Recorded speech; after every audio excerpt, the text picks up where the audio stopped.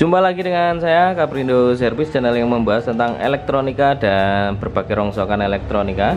Kali ini kita akan mencoba memperbaiki sebuah turbo HD atau bisa disebut juga video recorder atau bisa disebut juga adalah mainboard dari CCTV ya atau mesin CCTV ya. Kondisi dalamnya seperti ini kondisinya masih nyala lampu indikator nyala tapi disknya ini tidak terbaca ya. Dan kita akan melepas catut daya 5 volt 12 voltnya ke harddisknya biar harddisknya tidak rusak. Nah seperti ini. Dan langkah pengecekannya akan kita coba memberinya arus atau memberinya daya listrik 12 volt ya di dari adapter ya. Jadi kita beri daya 12 volt dan nyala. Seharusnya kalau ini dicolokkan dia akan berpindah ya dan ini masih tetap ngecencang di sini. Dan teman-teman bisa perhatikan di sini ada kapasitor atau elko yang pada melendung ya. Itu betul ya meteng ya. Hamil kurang lebih tiga bulan ya. Korban rayuan ya kita akan mencoba untuk mengganti beberapa elko yang kembung. Mudah-mudahan diganti mau bisa normal lagi tapi ya nggak tahu juga. Kalau teman-teman sudah pernah mengalami kerusakan seperti ini kalau ada kesamaan silahkan ketik di kolom komentar. Mudah-mudahan bisa membantu saya. Setelah melakukan pelepasan dan penggantian ini cetak template nih di ujung-ujung ya atau di bawahnya ya tidak di tempatnya semula tapi cek tak jajal. Nah ini ada beberapa elko ataupun kapasitor yang uh, rusak ya. Rusaknya itu ya memang benar-benar rusak. Uh, dia nyampe jebrot ya. Apa bahasanya?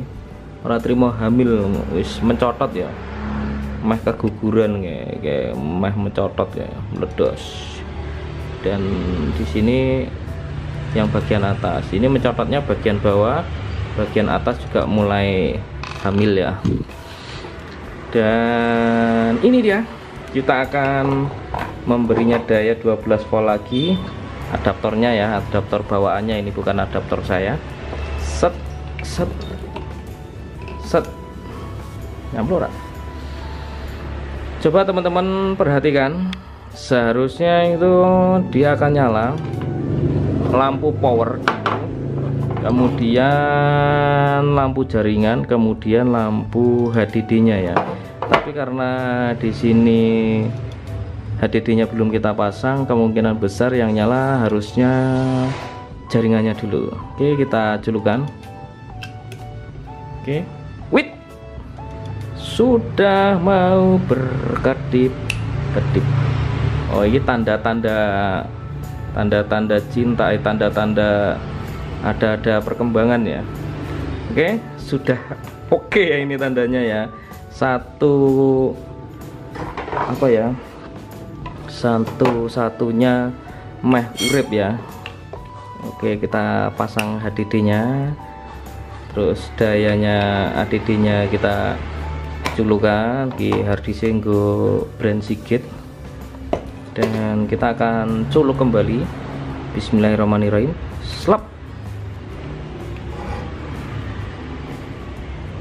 Oke masih lampu merah menyala melotot. HDD nya belum ada tanda-tanda pergerakan. Kemudian lampunya juga belum nyala. Ah, apa yang terjadi ya teman-teman ada kedipan satu kali. Uh ternyata dia tidak mau ya. Coba akan saya cek pakai AVO ada berapa? Set set. Hmm, hmm, ini 8 pol kemudian ini 5 pol. Ini kok 8 pol? Ini 5 pol. Ini 5 pol ini. Seharusnya kuning itu 12 volt ya teman-teman. Ini namanya arusnya drop. Sheet drop ini. Ini namanya drop. Coba tak cariin adapter lain. Nanti jangan-jangan adapternya juga bermasalah. Kita cariin adapter lain. Mudah-mudahan mau bisa nyala lagi jadi adapternya ini kita ganti. Saya ada adapter lagi nih tapi adapter untuk receiver parabola ya ini kalau nggak salah. Bekas receiver parabola. Sama sih ya. Spesifikasinya sama semua outputnya 12 volt 1,5 ampere. Sama ini.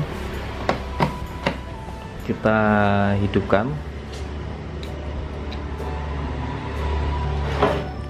oke lampu merah sudah menyala. Oke dan HDD pun sudah berputar ya. Nah ini HDD nya sudah berputar tandanya ada tanda-tanda bahwasanya uh, sudah jadi ya ini ya. Kita tinggal menunggu beberapa menit saja. Wih, lampu indikator HDD nya berkedip ya. Kalau sudah berkedip seperti itu tandanya sudah kelar ya pekerjaan kita ya. Nanti kita tinggal uji coba atau orangnya sendiri yang menguji cobanya di rumahnya untuk ngincang CCTV nya hmm, kayak gitulah. Kita nanti kalau memang diizinkan untuk merekod di rumahnya ya nanti kita rekod di rumahnya. Kalau memang tidak diizinkan ya sudah videonya kita cut sampai di sini ya